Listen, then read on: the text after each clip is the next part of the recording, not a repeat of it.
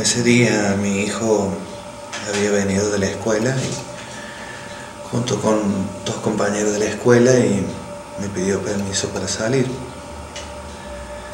Cuando más tarde vuelve me dice de que quería ir acá atrás con sus amigos y que iba a estar ahí y que quería ir a, bailar. Y bueno, esa fue la última vez que yo lo vi con vida, mi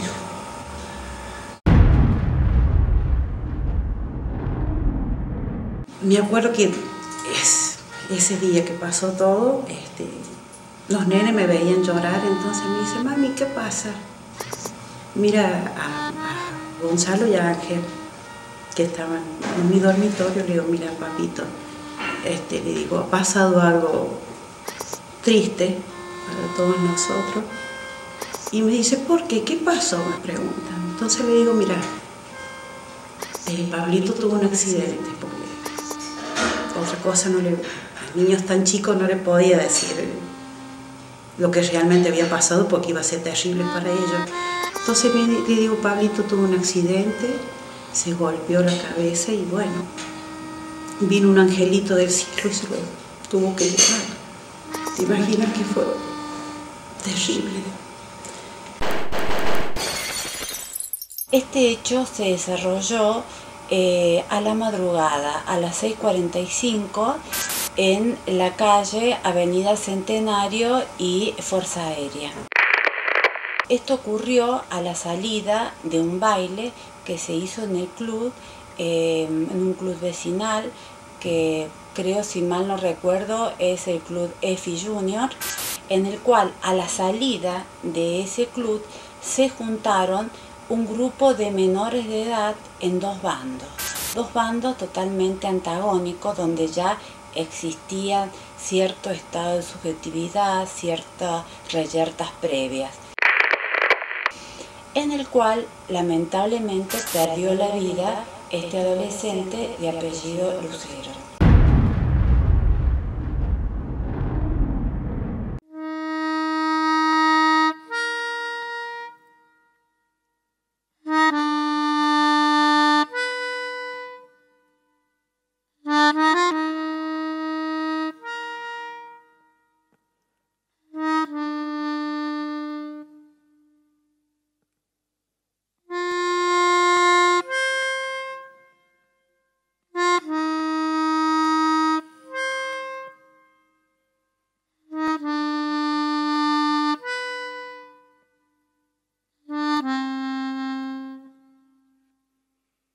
Y esa madrugada yo lo estaba por ir a buscar, ya estaba vestido. Y antes de que saliera llega mi cuñado y me dice que me vaya rápido con él porque a mi hijo le había pasado algo malo y no me quería decir. pero con solo ver el rostro me di cuenta de que era algo terrible. Y cuando llego ahí en menos de un minuto, me encuentro a mi hijo tirado muerto, tapado con una coche.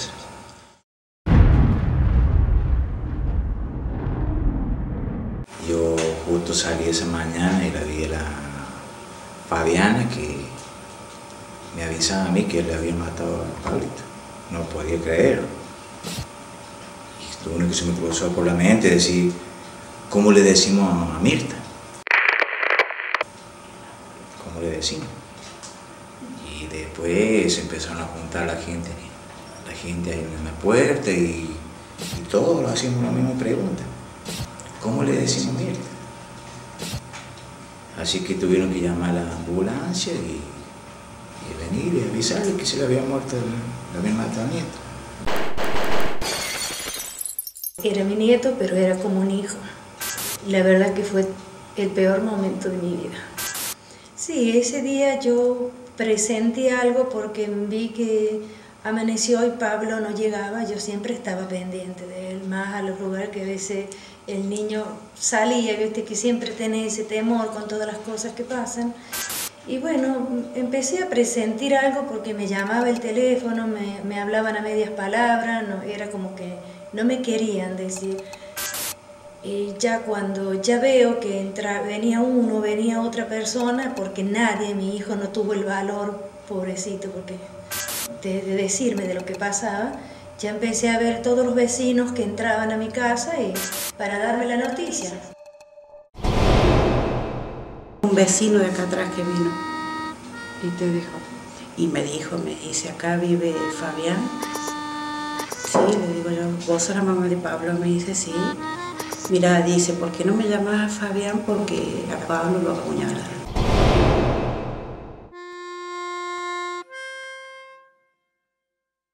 Yo a Pablo lo había, la última vez que lo había visto fue a las 12 de la noche, que entró y salió y después no lo vi más.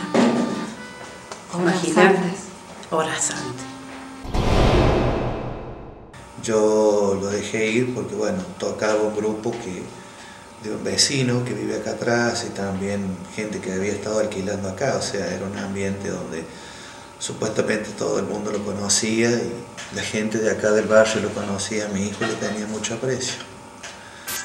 Nunca nos imaginamos que a dos cuadras de mi casa le iban a hacer este, este daño tan grande porque le quitaron la vida a mi hijo y eh, destrozaron a toda la familia, a mi esposa, a mi madre, a mis hermanas, a mi padre, a mi hijo más chico, que era el más apegado a él porque él lo llevaba a la escuela, lo sacaba a pasear, lo tuvo una semana en cama, deprimido, que no comía, una criatura de siete años.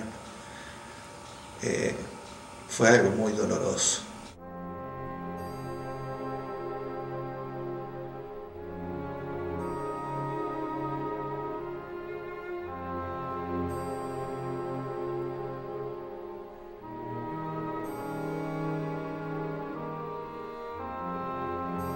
Hijo estaba con dos vecinos. Cuando mi hijo se cruza solo a hablar con otro, ahí le sale el asesino y lo ataca a mi hijo rapidísimo. Y cuando los dos amigos de él lo quieren ayudar, la barra que, que- que estaba con él, eh, la barra que estaba con el asesino, se interpone entre los dos amigos de mi hijo y, los, y se agarran a las trompadas, pero a mi hijo ya lo habían apuñalado. O sea, fue de una manera alevosa, no le dieron tiempo a defenderse, no le dieron tiempo a nada. Que yo nunca me imaginé semejante atrocidad lo que le hicieron a mi hijo.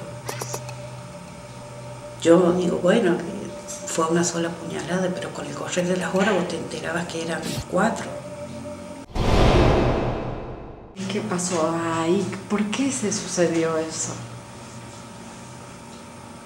Y todo por poller. De las mismas chicas, ¿viste? Hoy los pibes, ¿viste? Como están hoy. No es como nosotros que antes los respetábamos, pero ahora no. Ahora son las pibas, las pibas son. Todo eso. Hay muchas versiones. Cuando pasan este tipo de cosas se dicen varias. Yo sé de que este chico le tenía rabia a mi hijo porque mi hijo andaba con una chica que se ve que había tenido algo que ver con él. Es más, en una ocasión cuando estaba, que salíamos de la iglesia, eh, esta persona junto con otros lo encara a mi hijo. Cuando me ve a mí se frena. Entonces yo le digo, hijo, ¿qué pasa? ¿Qué problema tenés? No, que se me tiene rabia porque yo tuve algo con una chica que había sido novia de él. Pero nada más, eso fue hace mucho tiempo antes de que pasara lo que pasó. Por eso cuando yo lo veo a él en las comisarías, me acuerdo automáticamente de que era el que ya tenía intenciones de, atacarlo a mi hijo, pero nunca uno se va a imaginar que va a ir y lo van a atacar con esa hazaña y con la intención de quitarle la vida. Este hecho eh, se dilucidó rápido en virtud de los ocho eh, testigos oculares que aportaron elementos concordantes y coincidentes en determinar cómo fue el acometimiento físico agresivo que sufrió la víctima. En forma totalmente injusta, se valió entre esa reyerta con este chico, que no tenía nada que ver la víctima, del acometimiento en el sentido que eh, dolosamente le profirió varias heridas. Eh, se comprobó que el victimario tenía pleno dominio del hecho, manejó perfectamente el curso de la causalidad, acción-efecto, y que evidentemente eh, tuvo en su designio matar al adolescente Lucero. Totalmente innecesario, una muerte totalmente injusta, que surge como consecuencia de esa reyerta patoteril, esa gresca entre dos grupos que justamente estos tres menores no habían podido ingresar al baile y se quedaron afuera. Y ya empezaron a ingerir bebidas alcohólicas y todo este tumulto que habían realizado previamente a la salida del resto de los jóvenes que estaban en el interior del baile. No fue algo al azar, esto fue algo que lo pensó, porque esperó el momento exacto, esperó que mi hijo se cruzara, que estuviera solo, que los, dos chicos que estaban con él quedaran en una distancia en la cual no lo pudieran ayudar. Y ahí aprovechó la situación. A pesar de los primeros auxilios que colaboró el personal del complejo sanitario en brindarle a este adolescente que estaba agonizando. Eh, todo fue inútil porque eh, se verificó por el médico que eh, a través de sus pupilas dilatadas ya estaban refiriéndose a la muerte cerebral. Este acometimiento habla a las claras de la meta que tenía en sí de la realización del tipo objetivo del sujeto activo. En cuanto en forma totalmente injusta, se valió entre esa reyerta con este chico, que no tenía nada que ver la víctima, del acometimiento en el sentido que eh, dolosamente le profirió varias heridas. La verdad que en esa circunstancia la víctima corrió un peligro grave en su integridad física, toda vez que eh, no existen signos de defensa por parte de la víctima. Toda vez que eh, no existen signos de defensa por parte de la víctima. Y se pudo verificar a través del médico forense que tenía varias eh, heridas.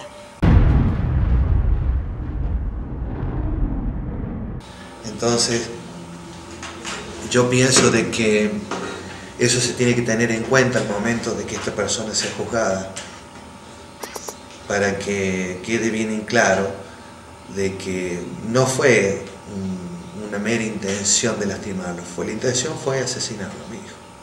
¿Tu hijo se levantó del lugar y caminó? ¿Los amigos Sí, sí, mi hijo se mantuvo en pie, trató de levantarse, trató de huir, pero lo seguían, lo seguían atacando, le pegaron una pedrada en la cabeza para que cayera, o sea, hicieron todo lo, que, lo que pudieron para que mi hijo no pudiera zafar de la situación. Hasta que quedó en ese lugar. ¿En dónde quedó? Quedó tirado en la esquina, al costado de un cordón. Y bueno, ahí mi hijo falleció. Aparte de, de, de que, si bien estaba la policía, nadie quiso levantarlo, ni socorrerlo, ni nada. Mi hijo murió desangrado a raíz de las heridas que tuvo. De todas maneras, sé que hubiera muerto igual por la gravedad de las heridas que tenía. Un chico de 16 años que mata a otro de 18, son niños, ¿no? Son niños, para mí son niños. La verdad que yo, mm, no sé, este, a pesar de mi gran dolor, porque tengo dolor en el alma, me da pena esa gente, me da mucha pena, porque son niños, chicos, asesinos.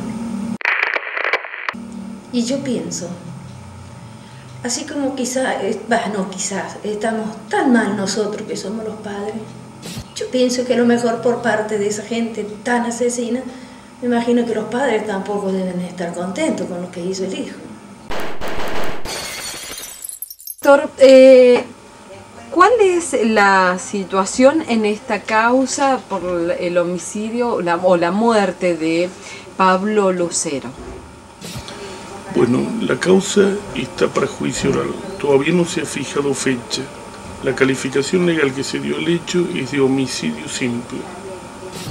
En esta causa, teniendo en cuenta que hay involucrado un menor, ¿cómo se trabaja? Y cuando un menor, conforme a la ley, está entre los 16 y los 18 años, el juez penal puede procesarlo, pero lo pone a disposición del el juez de menores no puede dictarle prisión preventiva. O sea, la investigación inicial en un primer momento puede estar a cargo del juez penal, cuando el hecho es cometido por un menor conjuntamente con mayores. Cuando el hecho es cometido por un menor solamente, entonces lo tramite el juzgado de menores. En este momento lo que están haciendo ustedes es esperar, aguardar a que se dé el juicio. A que se fije fecha de juicio. A partir de ese momento, de si el menor tiene 18 años, ¿se produce la imputación o la condena? La imputación ya está producida, ¿sí? El tema es una cuestión de cumplimiento de condena. Entonces, no existiendo alojamientos, institutos especializados, el cumplimiento de la condena se tiene que hacer en la penitenciaría, donde recién a partir de los 18 años, donde una persona sigue siendo menor hasta los 21, y alojado en un pabellón especial que es el pabellón de menores. Pero antes de los 18 años no hay alojamiento en la penitenciaría. Tenemos en cuenta que esta persona era un menor de 16 años. Por lo tanto, si bien puede estar procesado, tiene que estar atenuada su responsabilidad por la ley de minoridad 22.278 y su modificatoria 22.803. Tu hijo estaba cursando uno de los últimos años de la secundaria, ¿no es cierto? Sí, estaba cursando el penúltimo año que le quedaba para terminar la secundaria. Él era un chico muy inteligente, no tenía dificultades para estudiar y para comprender. Era muy, muy vivaz. Era un chico muy alegre que tenía muchos amigos, muchas amigas, muchas novias. Y él disfrutaba mucho de eso. Era una persona muy social, que le gustaba salir y le gustaba relacionarse. Era una persona muy, muy abierta.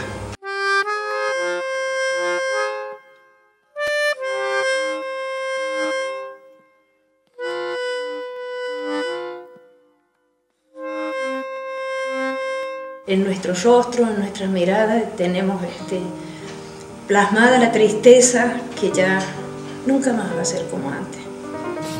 Es muy, pero muy doloroso, muy doloroso. Es la cosa más terrible que le pueda pasar a un padre, esto que nos pasó a nosotros. Era un dulce. ¿Qué te puedo decir? Un niño muy bueno, muy cariñoso conmigo se llevaba muy bien. A pesar de que yo no lo parí, pero se llevaba muy bien conmigo, muy bien y recuerdo muy lindo, muy lindo de Pablo. Era muy confidente conmigo, muy confidente. Él me decía mamá, o me decía Fabiana como él quería. Íbamos a la escuela juntos el año pasado. Yo me hubiera recibido el año pasado, pero con lo que pasó fue un golpe muy fuerte para todos nosotros. Allá de que eh, no haya a lo mejor eh, cierta certeza en lo que se dice, yo sé que el asesino de mi hijo ya le tenía rabia de antes. Yo mismo lo presencié. Cuando él con otros que se juntaban ahí en la plaza que está acá cerca, eh, intentaron una oportunidad encararlo a mi hijo, sino que estaba yo justo ahí y se frenaron. Yo sé de que este chico le tenía rabia a mi hijo porque mi hijo andaba con una chica que se ve que había tenido algo que ver con él. Es más, en una ocasión cuando estaba, que salíamos de la iglesia, eh, esta persona junto con otros lo encara a mi hijo. Cuando me ve a mí se frena. Entonces yo le digo, hijo, ¿qué pasa? ¿Qué problema tenés? No, que se me tiene rabia porque yo tuve algo con una chica que había sido novia de él. Pero nada más, eso fue hace mucho tiempo antes de que pasara lo que pasó. Por eso cuando yo lo veo a él en la comisaría, me acuerdo automáticamente de que era el que ya tenía intenciones de, atacarlo a mi hijo, pero nunca uno se va a imaginar que va a ir y lo van a atacar con esa hazaña y con la intención de quitarle la vida. Es tan doloroso, es tan cruel lo que. Te imaginas que por ahí no tocamos el tema porque es un dolor tan inexplicable lo que llevamos adentro. A veces no hablamos. Es como que no se puede expresar, ¿no? No se puede expresar. Ruego, le pido a Dios, porque si bien la justicia del hombre puede tener falencia, la justicia divina nadie queda exento. Lo único que pido es de que el que mató a mi hijo que pague por lo que hizo, que, que no quede como que mató a alguien y no le hicieron nada, porque eso es lo que está pasando hasta ahora. Él y los que estaban con él lo mataron a mi hijo de una manera terrible y todos ellos están disfrutando de su libertad. Yo soy muy creyente en Dios. Yo siempre digo que donde no llegue la justicia del hombre, llegue la justicia divina. y que esos asesinos, ojalá que un día Dios los perdone, porque Dios perdona a todos, hasta el pecador más grande, pero nosotros no podemos perdonar semejante barbaridad. Están todos libres, están todos en libertad, tanto el asesino como los que estaban con él, están sueltos y hasta ahora impunes. Porque así como pudieron matar a mi hijo que tenía un metro noventa y dos, que era una persona ágil, mm, tranquilamente puede matar a cualquier otra persona y bueno, lamentablemente él anda suelto por las calles.